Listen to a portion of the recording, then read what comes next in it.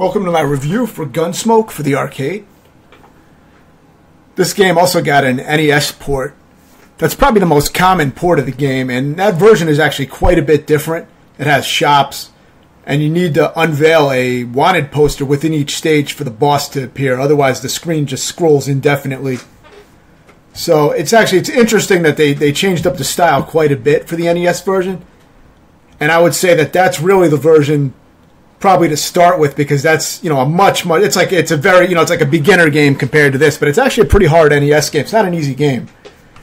But this game is ridiculously difficult you know on the default setting. I think even if you set it down to easy it's still ridiculous. But um you know the dip switch. But the game as it defaults is is insanely difficult. One of the hardest games that I ever completed. So for this version it's actually um, very straightforward. It's pretty much just a shooter where you have three different directions that you can aim your gun. And there are slight variations of that if you combine certain buttons, but I found them to be worthless. So I just used the three firing directions when I beat the game. I also completed the NES version, so I'm comparing them off of my own uh, recollection of the games. So um, you have your three firing directions, and you get power ups for uh, faster shot, um, faster walking speed, which is one of the most essential power ups, and firing distance. So the boot will give you speed, the gun gives you firing distance, and um, the bullet, I think, increases your firing rate. I didn't notice much of a difference with the firing rate power up because I was using rapid fire on my controller, so that may have kind of uh, negated that effect. But what I'm going to do is I'm going to go over most of the bosses and kind of I'm I'm going to try to give a good feel of how the game pacing is and how it's kind of uh, super unevenly paced difficulty wise, which is not uncommon for old arcade games, but it's kind of interesting to uh, to see how the game progresses. So yeah, I would say this is one of the hardest games that I completed, which I mentioned in my tutorial of this game, which you may want to check out. But um, Second to this, actually, if I wanted to compare a console game to this level of difficulty, Super Smash TV, I would say, is one of the hardest console games. And um, definitely one of the hardest games on the Super Nintendo, which I, I beat recently and did a tutorial on that as well. And I would say that Super Smash TV was extremely manageable compared to this game. You know what I mean? I mean, Super Smash TV is definitely up there in difficulty, but um, this game is way harder because this game, you're only looking at like 30 second checkpoints and unlimited continues. So you can always start back at the last checkpoint. And the checkpoints probably only last about 30 seconds, but surviving that 30 seconds can be insane. And some of them probably last, you know, over a minute. But, um, you know, a lot of them are probably like 30 second checkpoints. So you would think this game would be way easier than Super Smash TV, which has, you know, limited continues. You only have four continues in that game, and it's an hour and 20 minutes long. This game's only 30 minutes long and you know you never have to restart the entire game. You only have to restart at the last checkpoint you got to. And like I said, the, the checkpoints are very small. So you would think this game would be much, much easier than that game. But this game is way harder because some of the checkpoints are so fucking ridiculous, you know. You feel like you hit a brick wall and you don't know if you'll ever even be able to complete them. Because you get killed so fast. And the main difficulty comes within a few of the boss fights. There's just a few brutal boss fights. Uh, the hardest one taking me nine hours for about a 30 second checkpoint. So um, it puts it in a perspective, you know, the type of difficulty. So I would recommend starting with the NES version. If you really want a really fucking extreme version of the NES game, then play this. I wouldn't say this is going to be approachable for most players. I think this is going to be a top percentile kind of game as far as people who are going to actually want to try to complete this and actually and actually do so, you know, because this is one of those insane kind of games. But you know, with perseverance, you know, it can definitely be done. And if you are looking to uh, challenge yourself and do that, then you know, check out my tutorial to give you a good understanding of, of what went into beating it and how I practiced and all that type of shit. I go into all those details in that. So shortly on the third stage here. Now it depends what ROM you're playing. If you're playing a, a, another version of the ROM the Indian boss is actually the third boss, and the Indian is the hardest boss in the game, at least for me. That's the one that took me nine hours to beat. But in this ROM, your third boss is going to be the ninja. And this was my first real challenge. Now, this guy is easy compared to later bosses, but this guy took me three or four hours when I first got to him. And you're going to see me kind of blaze through him easily at this point because, one, I got, you know, I, I was much better at the game, and two, I just, you know, I also was getting lucky as well. Because a lot of this game for me would be luck when I survived. But I was able to get a lot of hits on him and take him down, you know, pretty quick because this fight can really drag out and it can be very hard to survive because his shurikens that he throws out home in onto your last position pretty much, and he shoots about uh, you know what two or three of them at a time, or actually what one one behind the other actually not at the same time, but still, this was a very hard fight initially, but this was only the beginning of what was to come, you know, and it got much worse from here as far as difficulty. Now, after you finally beat this guy, you do get a little bit of a break, and you think, well, you know, maybe the game is going to give me a, a break, maybe it's going to get easier because the next boss is a joke and the next level is a joke. I beat the next level probably within 20 or 30 minutes if I have to remember, but um, the next stage went by very easy relative to how long some of these parts took in this game. The game took me about 25 hours to beat. And remember, we're talking about a 30 minute game with unlimited continues. It's 30 minutes with no deaths, and it's unli- you know unlimited continues, and, and the checkpoints are only about 30 seconds most of the time. So for a game like that, it's incredibly dense. Now this is the next boss and this boss is a fucking joke, super fucking easy. And remember, I'm comparing it relative to what came before. The uh, the ninja boss was way way harder than this guy. This guy's very easy. The only challenge that would be here is, is the amount of enemies swarming you, but that's normal. So you got to get used to that because that, that the enemies never stop. The enemies constantly flood in while you're fighting all the bosses. That's another thing worth mentioning. So it's it's relentless, you know, constantly, endlessly respawning enemies with all the boss fights. But that was really, really easy for, for this game. Now, then you get to this boss. The next boss is brutally difficult. Now, I did this in a very difficult way where I was pretty much, you know, dancing with death the entire time, one pixel away from death. Um, and it was extreme.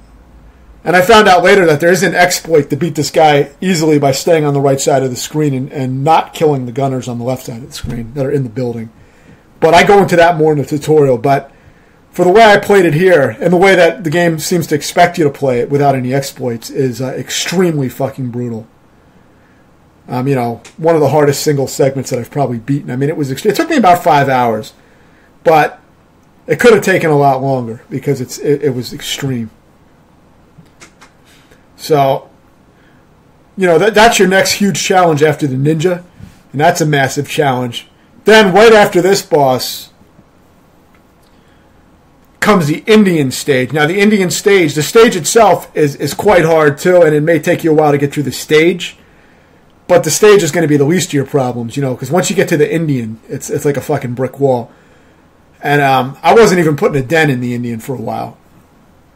So, um, and that that that checkpoint with the Indian took me probably over nine hours to beat.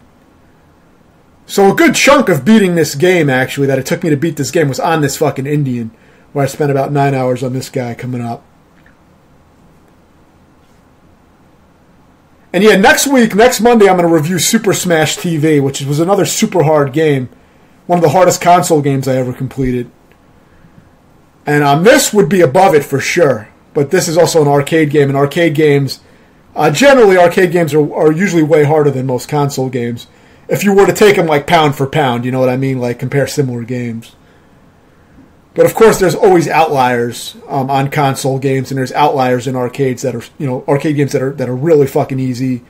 There's always going to be variations, but overall, my, you know, for me, the average uh, arcade game, console style arcade game with penalties for death is usually a lot harder than most of the the old NES games or Genesis and all that shit. You know, similar games of the time. So yeah, this is the Indian, and this is fucking ridiculous. Now, it's not going to look that hard because I uh, was very fortunate that I was able to get a lot of hits in. I've danced with this guy probably for over a minute before, which is insanely long for this kind of intensity. But here I was doing really good damage, got very lucky with my damage.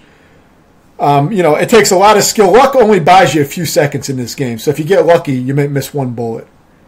But, you know, the next bullet's coming right behind it, so you really got to have crowd control down, and you got to be in a fucking zone. You got to feel the pulse of the of the shots that he's firing out, and you got to constantly be moving. Otherwise, you you get fucking nailed. And um, really, you know, if you play it, you'll understand. It's one of those kind of games. I recommend using an arcade joystick for this game because you want one finger on each of the firing buttons. You don't want to be using your thumb to try to hit all three firing buttons on a, uh, a standard controller. Now, if you play with an overhand grip with one finger on each button on a standard controller, then you may you may have a chance. But otherwise, it's going to be very hard to do with your thumb. You need to switch directions immediately when firing. Now, this is a very easy fucking boss. This comes right after the hardest boss in the game. So you see how unbalanced the difficulty is. You know, sometimes you have two super hard bosses in a row. Sometimes you have a super extreme boss and then a super easy boss. Now, this guy, this boss, it can be pretty hard, but it's really not that bad. It didn't take me that long. As long as I stayed on the right side and fired into his shoulders, it didn't take me too long. Now it looks a lot easier here because I got lucky, but when you're on that right side, you can easily get mobbed by the crowds and just totally destroyed. So it looks a lot easier than it is, but relative to the rest of the game, that was a very doable boss fight. Really not that bad for this game. For a console game, that, that actually would have been a pretty pretty hard, you know, boss for like a typical, you know, like Gunsmoke NES. That would have been a very hard boss probably.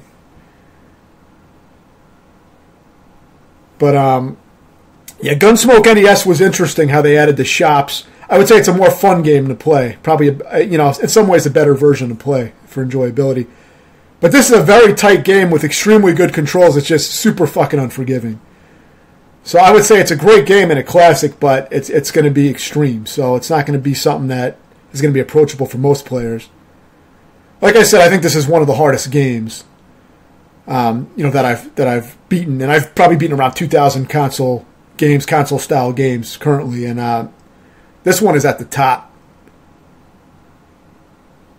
The only thing that really compares to this is probably shit like um, you know challenges I put on myself, like getting a 40 million in Ninja Gaiden Black was extreme, but that was hundreds of hours.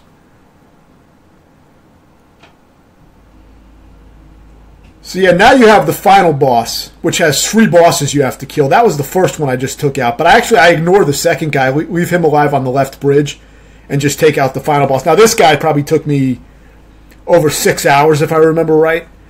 This is this is another one of the hardest bosses in the game. It's extremely difficult. And here I found kind of a, a, a not really a safe spot, but a place where I could pivot and shoot. Still very dangerous. And then there's another semi safe spot at the top that's really not a safe spot, but it's safer. And trying to get out when those bullets fire and get up there and take your shots and then get back down again and survive is extremely difficult to do. You can also only hit him when he's standing up. So yeah, I showed all the bosses in the game to try to give an idea of the pacing of the game, so that you can see that it's really unevenly paced, which is you know not necessarily a problem. It's just it's kind of odd because you would think it would get harder as you get farther in, and it does in some ways. But in other ways, the Indian boss can be the hardest boss in the game, at least for me, and that can be the third boss if you're playing a different version of this ROM. And if not, then you'll fight him as the sixth boss, which, you know, still you wouldn't expect the sixth boss to be the hardest boss in the entire game. I think there is either eight or ten stages from what I remember. But I'm going to leave a link to the tutorial version in the description, and I'm also going to review Super Smash TV, which was another extreme game that plays kind of similar to this. Overall, I would give this game an 8 out of 10, and it's really only for players seeking an extreme challenge. Thanks for watching.